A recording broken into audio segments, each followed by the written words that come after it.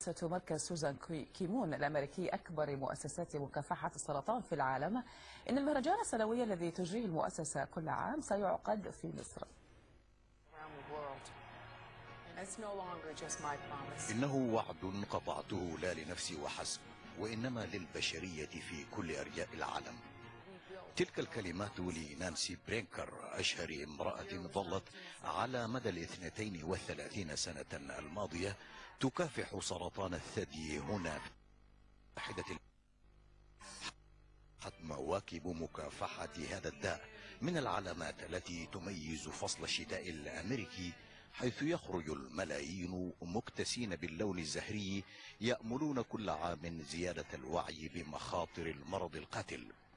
غير أن المواكب اتسعت وامتدت إلى مدن أخرى خارج أمريكا. هذا الشتاء ولأول مرة سينتقل الموكب السنوي إلى عاصمة عربية هي القاهرة حيث سيتجمع المئات تحت سفح الأهرامات للتوعية بمخاطر سرطان الثدي في مصر والعالم العربي.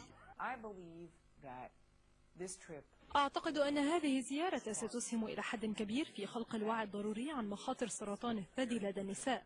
هنالك عمل كبير ينتظر الشرق الأوسط من خلال مجموعة من الأطباء والممرضين والمدافعين عن حقوق المرضى وهذه الزيارة تشكل فرصة جيدة لإظهار عملهم ودعم مجهوداتهم وإطلاق نداء العمل ودعوة كل الناس في العالم العربي لإيجاد حلول لهذا المرض. ولأن دولا مثل مصر ومثيلات لها في العالم العربي ترتفع فيها معدلات الإصابة بالمرض ويقل فيها وعي النساء بأخطاره إلى درجة أن بعض المصابات به في الأرياف يمنعهن الحياء من التحدث عنه فقد كان ذلك أحد الأسباب التي دفعت بمثل هذه المؤسسة إلى نقل أكبر أنشطتها إلى أهرامات الجيزة.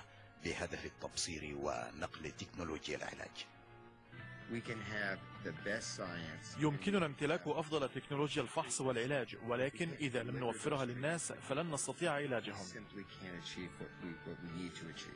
كيف تأسس مركز سوزان كومن العملاق؟